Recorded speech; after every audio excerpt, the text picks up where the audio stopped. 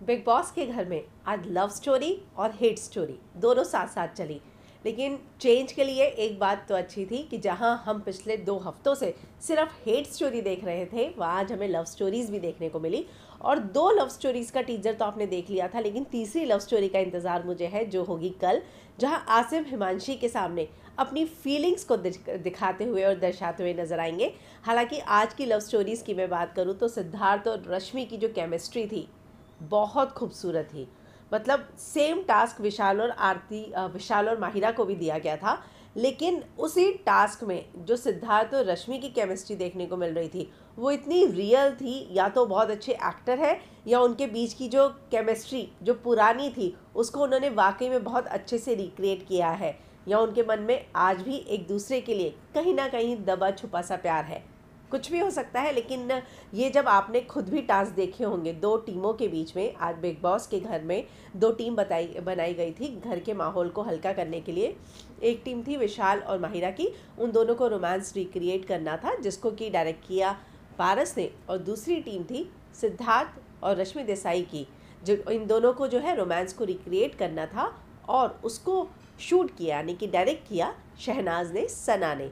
तो जब ये टास्क शूट हो रहा था, जब ये पूरा टास्क हो रहा था तो हमने देखा कि जो सिद्धार्थ और रश्मि की केमिस्ट्री थी, वो इतनी खूबसूरत थी। मतलब लग रहा था कि वाकई में जो हम देख रहे हैं, वो बहुत रियल है, वो एक्टिंग भी नहीं लग रहा था।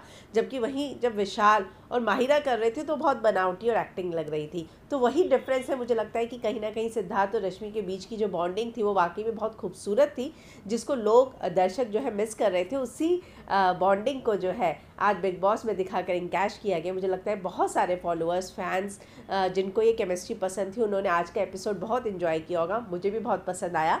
लेकिन मुझे जो है आसिम और हिमांशी का जो कल का रोमांस है, जो मुझे देखने का मैं बहुत बेसब्री से इंतज़ार कर रही हूँ कि आगे क्या होगा। हालाँकि शुरुआत में मैंने बात की कि आज लव स्टोरी के साथ साथ हिट स्टोरी भी हमारे बिग बॉस के घर में देखी गई। मैं हिट स्टोरी इसलिए कह रही हूँ क्योंकि आरती की अगर मैं बात करूँ तो आरती आज सिद्धार्थ से बहुत ज़्यादा नज़र आई। वहीं आसिम की बात करूँ तो आसिम के साथ जो है, ऐसा लग रहा है कि मानो आसिम ने सिद्धार्थ के साथ लड़ाई करके अपना पक्ष रखकर बहुत बड़ी गलती कर दी हो। क्योंकि हमने देखा सना, पारस, माहिरा, हर कोई जो है उसके खिलाफ धीरे धीरे हो रहा है।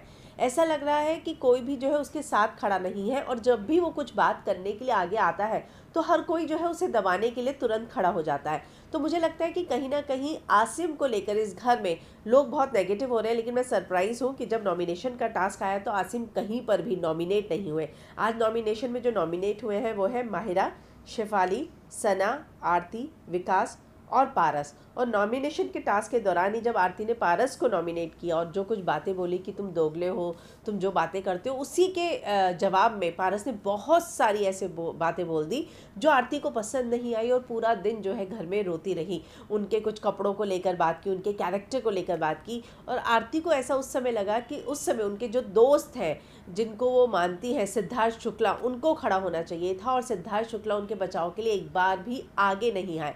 इस बात का जो है आरती को बहुत बुरा लगा और हमने देखा आज पूरे एपिसोड में वो कई बार इस बात को लेकर रोती हुई नज़र आई, आँसू भाती नज़र आई। हालाँकि हिमांशी ने, शेफाली ने भाव ने उनसे समझाने की कोशिश की, सिद्धार्थ से भी उनकी बातचीत हुई। लेकिन सिद्धार्थ ने बोला, जब तुम अब लड़ रही थी और तुम भी पारस को कई बातें बोल देती और उसने भी बोल दिया तो क्या है? हालाँकि आसिम ने ये पक्ष रखा सिद्धार्थ के सामने कि सिद्धार्थ उसको तुमसे उम्मीद थी कि तुम उसके लिए खड़े रहो। तो फिर उसने बोला कि मैं यहाँ पे बेबी सिटिंग करने नहीं आया हूँ, मैंने किसी को गोद नहीं लिया है। हालाँकि सना और जब वो साथ में बैठे थे तो सिद्धार्थ ने बोला भी कि जो कपड़ों की बात है वो बात सच है। रश्मि ने हालाँकि पारस को बोला कि पारस तुमने ये जो बात कही है किसी लड़की को लेकर वो बात बहुत गलत थी। यहाँ पे मैं कहना चाहूँगी कि सिद्धार्थ मुझे इस मामले में थोड़े गलत लगे। अगर कोई लड़की उनकी टीम में थी और अगर वो चाहती है कि जब उसके कैरेक्टर पर उंगली उठे और उसका वो साथ दे तो सिद्धार्थ को वो साथ जो है देना चाहिए।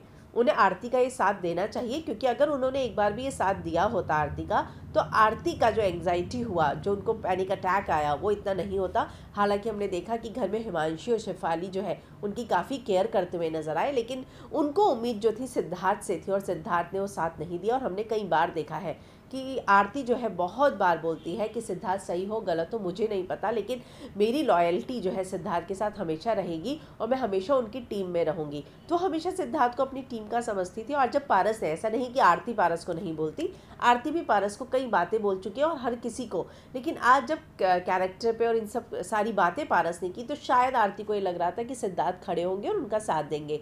वहीं आज जो है सिद्धार्थ सुबह से ही काफ़ी मस्ती के मोड़ में नज़र आए वो आरती और सना के बीच में लड़ाई कराने की बातें कर रहे थे।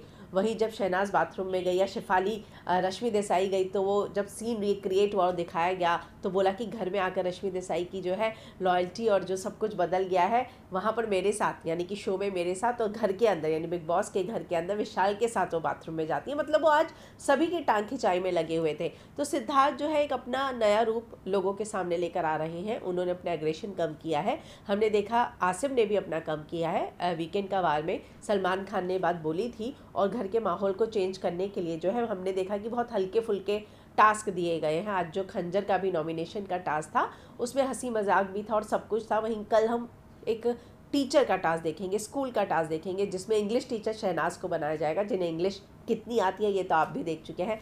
डांस टीचर सिद्धार्थ को बनाया जाएगा और शन शहनाज जो है वो फिर से ताना मारती हुई नज़र आएँगी रश्मि देसाई को कि तुम तो डांस टीचर यानी सिद्धार्थ के करीबी हो उन पर क्रश है तुम मरती हो। तो आ, मुझे लगता है कि ये हफ़्ता जो है बहुत ही हल्का फुल्का माहौल घर के अंदर रहने वाला है। आपको क्या लगता है कि घर के अंदर आपको क्या पसंद आता है? लव स्टोरी या हेट स्टोरी, आप ज़रूर कमेंट कीजिएगा और अगर आपने अभी तक चैनल सब्सक्राइब नहीं किया है तो रेगुलर अपडेट्स के लिए चैनल सब्सक्राइब ज़रूर कीजिएगा।